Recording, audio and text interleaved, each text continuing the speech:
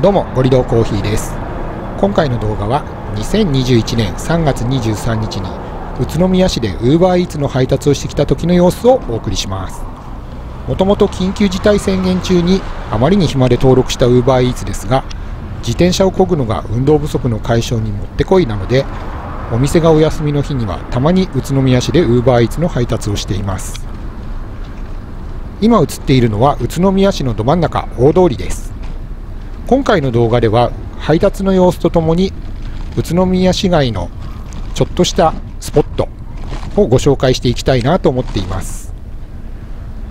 画面右奥に見えてきた大きな建物こちらは2019年に閉店したパルコの跡地です。閉店から2年近く経った今でも後釜が決まっておらず空きビルのままになっています。街の中心部にこんな大きなビルが空いたままになっているのはなんだか寂しい気もします。ウーバーイーツを始める前に今回はちょっと欲しいものがあったのでそれを買いに向かいます。この辺りは池上町という大通りに面したエリアになります。人が並んでますね。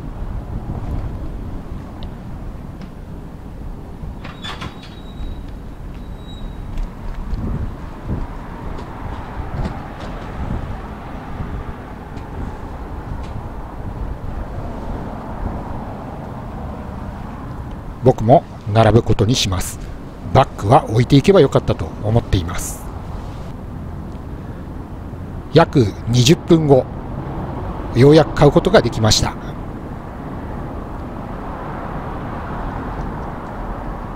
今回買いたかったものはこれです。撮影日の2日前に販売が開始されたばかりの Suica の機能を備えた地域連携 IC カードトトラです。2年後の LRT の導入に備えて発行されたものですが、宇都宮市内を走る関東バスでも、これで Suica が使えるようになったのでとっても便利。というか、今まで Suica 使えなかったんですね。びっくりです。こちらは宇都宮城址公園です。宇都宮城の遺構だった五本丸公園を改修し、往年の宇都宮城の一部を再現した広場付きの公園で、秋には宇都宮餃子祭りなどのイベントも開催されています。さてそろそろ UberEats の配達を始めたいと思います。とはいうもののなかなか配達の依頼が来なかったので街中をうろうろしていました。こちらは餃子通りと呼ばれる宇都宮ならではのエリアです。この日も平日にもかかわらずたくさんの人が餃子を食べに来ていました。あんまり宇都宮の人は餃子専門店逆に行かないような気もしています。家で焼くよね。うろうろしていたらようやく1軒目のオーダーが入りました。チャタイム宇都宮店さんというオリオン通りにあるお店です。ちょうど近くでうろうろしていたのでオリオン通りを目指します。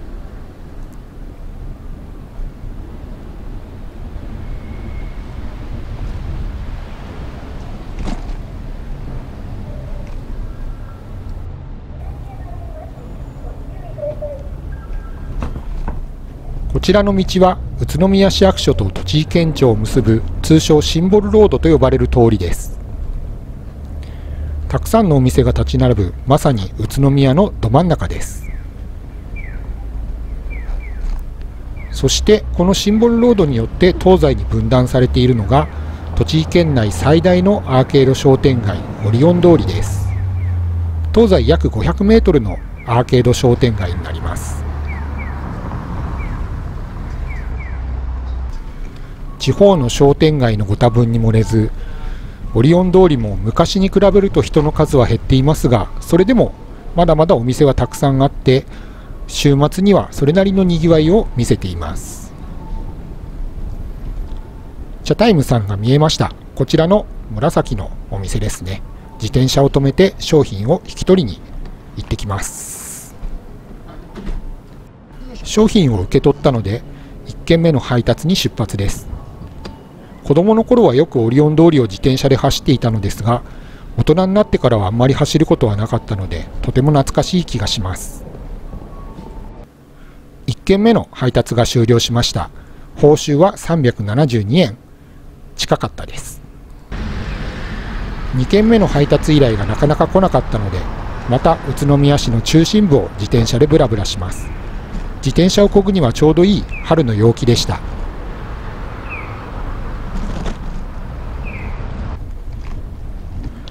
こちらは大通りを挟んでオリオン通りとは反対側にある泉町と呼ばれるエリアです。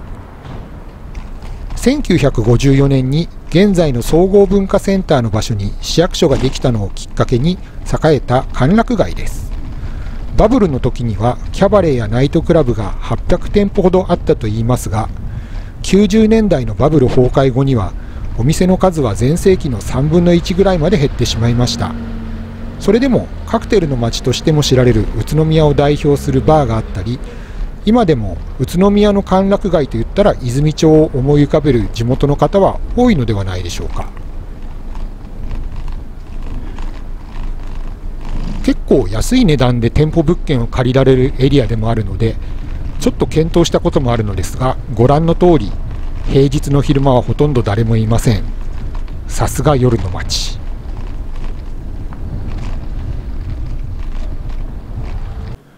再びオリオン通り方面に戻ってきてオリオン通りを通り過ぎて南に向かっていくと大きな教会が見えてきました。こちらはカトリック松ヶ峰教会と呼ばれる1932年に竣工した教会でなんと宇都宮で採れる石大谷石で作られています。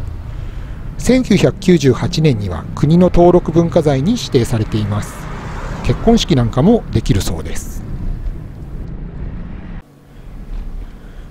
こちらはオリオン通りの西側に続くユニオン通りと呼ばれる商店街です。昔から若者向けのアパレルショップや雑貨店飲食店が多く立ち並び自分が学生だった頃にはオリオン通りはメジャーなお店ユニオン通りはファッションカルチャーの情報発信地といったイメージでした。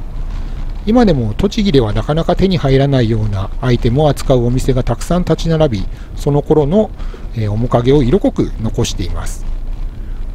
ユニオン通り商店街のホームページには宇都宮の原宿ユニオン通り商店街というふうに書かれていました。コーヒー屋的にはプロバットの焙煎機が鎮座するムーンドックエスプレッソロースターズがおすすめです。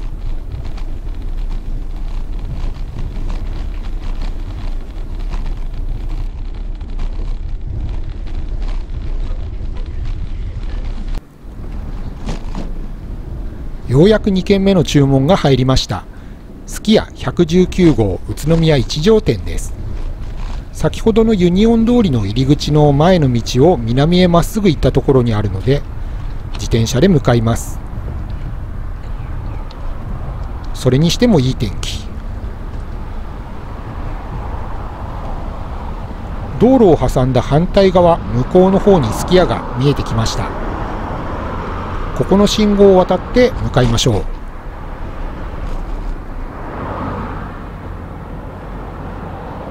実はここの信号が押しボタン式だったのですが全く気づかず3分ぐらいこのまま信号待ちをしていました。自分自身にがっかりです。信号が変わってようやく渡れましたのですき家に向かいます。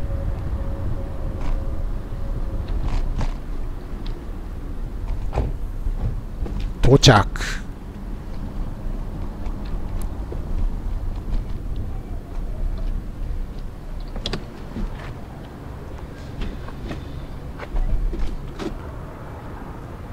自転車を置いてピックアップに向かいます。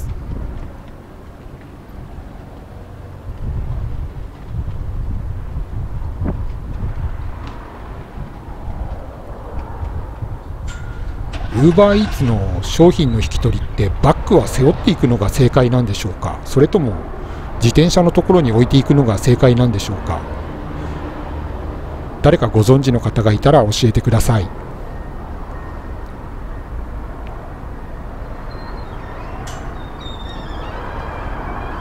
商品を引き取ってきましたのでこれから2件目の配達に向かいます。2件目の配達もものすごくお店から近いところだったので342円の報酬でした。次のオーダーまでまた時間ができたので今度はちょっとディープなスポットに突入してみたいと思います。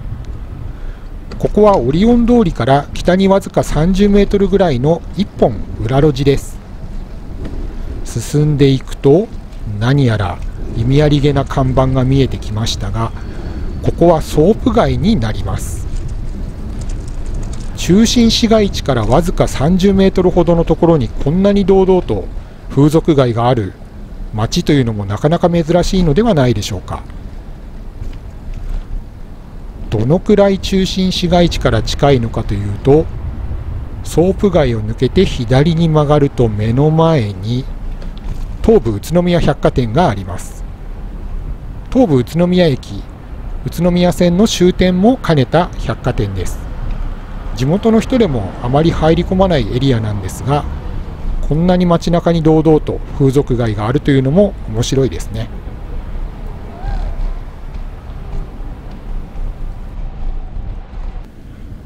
本日3件目のオーダーが入りました。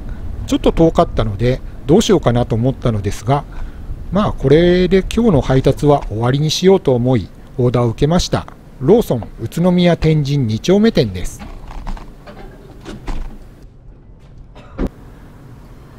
商品を受け取りに行ってきます。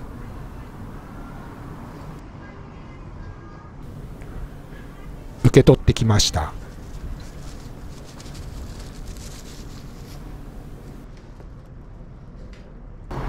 ウーバーイーツは配達のオーダーを受けてから届け先の住所がわかる仕組みになっているのですが、今回の届け先が結構遠くてびっくりしました。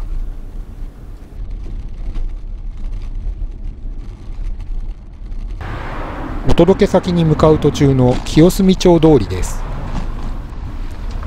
宇都宮は自転車の街としても知られており、基本的には自転車で走りやすい道が多いのですが、古くから残っている道にはこのように狭くて電柱がはみ出したりしている自転車で通るには危ない道も結構あります。このエリアは再開発道路整備の話もあるようですが道路の両脇には昔から残る古い建物や店蔵みたいな建物もあったりして取り壊してしまうのはちょっともったいないような気もします。ただ防災の観点やらいろいろなことを考えると致し方ないのかもしれません。3件目の配達も無事終了し報酬は512円。1日トータルの報酬は1226円でした。というわけで今回の動画はここまでとなります。UberEats の配達はまたやっていきたいと思っていますので機会があったら動画にするかもしれません。今回もご視聴ありがとうございました。